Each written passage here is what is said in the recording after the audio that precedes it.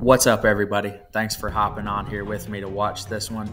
This is going to be a breakdown of a hunt that took place about a week ago. If you want to watch the full hunt, it's called Recurve Hunting in Texas. I'll have the link all the way at the end.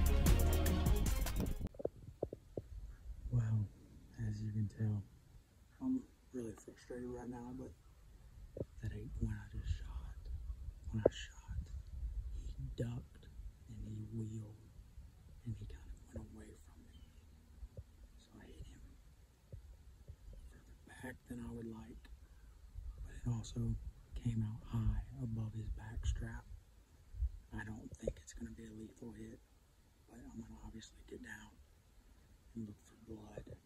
But I mean, it was really high. He dropped a lot and wheeled, and with that angle, it looked like it was just backstrap. But I'm going to look. Um, you know, he wheeled might give him some time. My only hope is, is maybe I hit that artery in the top, but we'll see.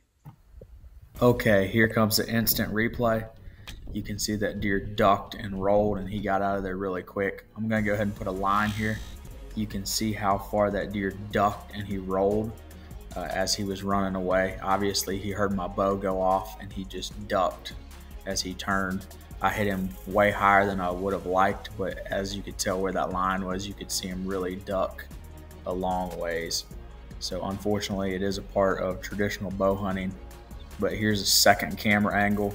See me coming back to full draw. I picked my spot and he just, I hit him too high, unfortunately. Here's another angle.